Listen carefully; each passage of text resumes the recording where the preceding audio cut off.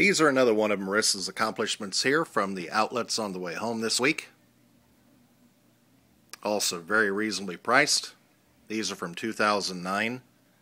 A women's Air Max 90, Grand Purple and Chilling Red, along with white. Nice color combination. Like the way they did up the uh, portion of the midsole there, half and half. The red definitely helps with the purple in my opinion.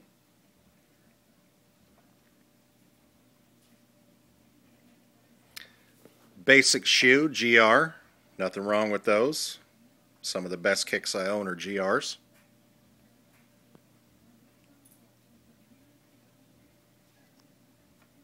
Like the purple-red combination. Another success story for Marissa. Air Max 90s.